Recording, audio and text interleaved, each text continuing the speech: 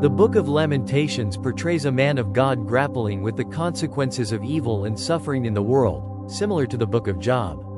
Context It reveals Judah's dire state after the Babylonian conquest of Jerusalem, a result of the people's sins and disobedience.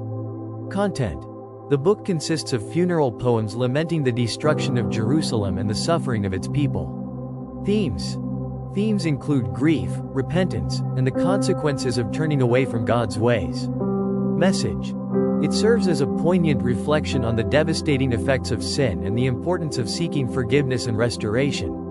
It was written soon after the fall of Jerusalem in 586 BC. He was an eyewitness.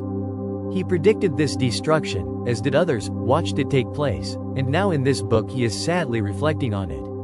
Key personalities are the prophet Jeremiah and the people of Jerusalem. In chapter 1, Jeremiah mourns for Jerusalem and Judea as it lays in ruin by the raid and destruction of Babylon. How lonely sits the city that was full of people. She has become like a widow who was once great among the nations.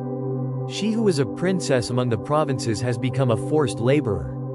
1 to 1. Chapter 2, he described the anger of the Lord who brought judgment to the wicked land, as God had warned, in fierce anger he has cut off all the strength of Israel. He has drawn back his right hand from before the enemy.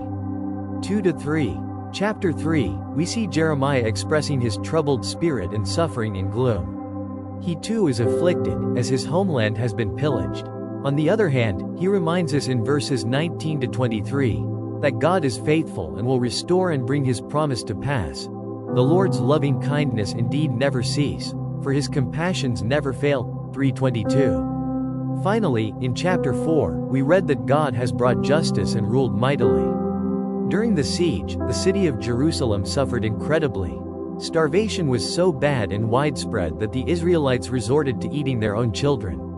The nation was warned about their sin and disobedience and the penalty of the coming judgment of God, and in verse 11 we read, The Lord has accomplished his wrath.